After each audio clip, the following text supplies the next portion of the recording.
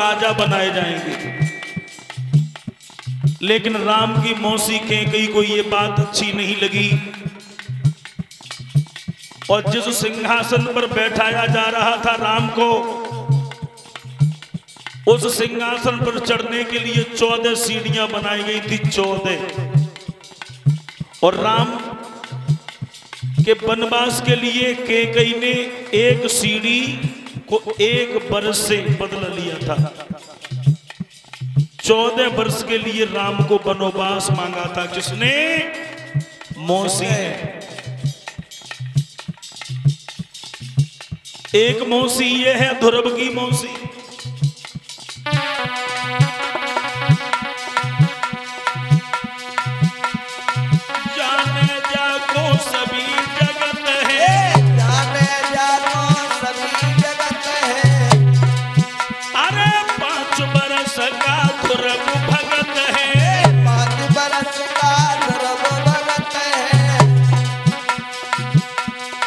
मौसी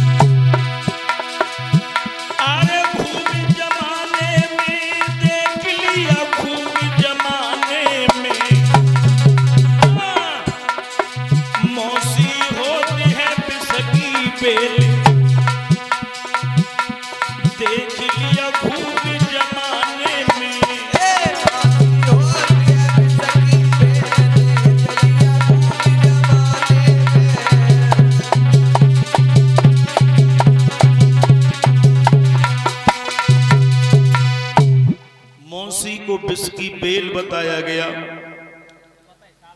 और मौसी, मेरे भगवत श्रोताओं,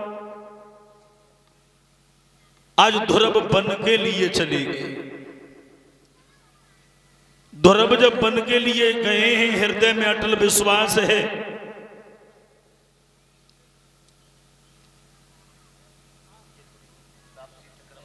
और ध्रुव जब वन में पहुँच गए।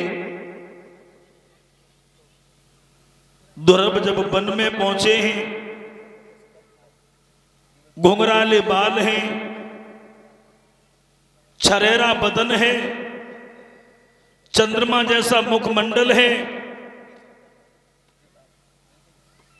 हृदय में अटल विश्वास है कि मैं अपने पिता की गोदी में बैठूँगा। और भाइयों, भक्त जब परमात्मा की तरफ़ दौड़ लगाता है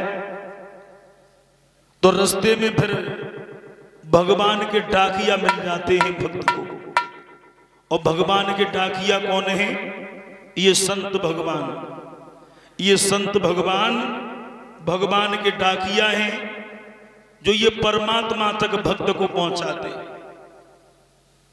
मेरे भगवत श्रोताओं देवर्षि नारद ने जब देखा है तो देवर्षि नारद मार्ग में मिल गए रास्ते में। और नारद ने देखा छोटा सा बालक है। भयानक झाड़ियों में आगे बढ़ रहा है। तो महात्मा नारद ने ध्रुव की रास्ता रोक ली। ठहर जाओ कहाँ जा रहे हो? आगे बढ़ते जा रहे हो, डर नहीं लगता? कोई शेर भेड़िया तुम्हें उठा ले जाएगा? तुम्हारी माँ तुम्हारी याद में मर जाएगी। देवर्षि नारद समझाने लगे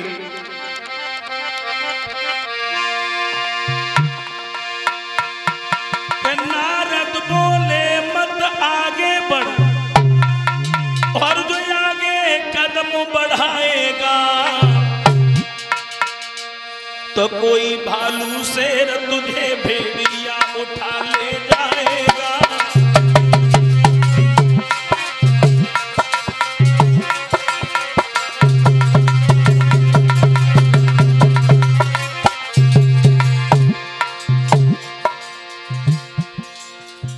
समझा कर जवाब दिया है महात्मा नारद ने।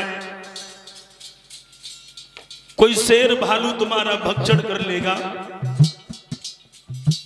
तुम्हारी जो माँ है तुम्हारी याद में रो रो के मर जाएगी मेरे लाल।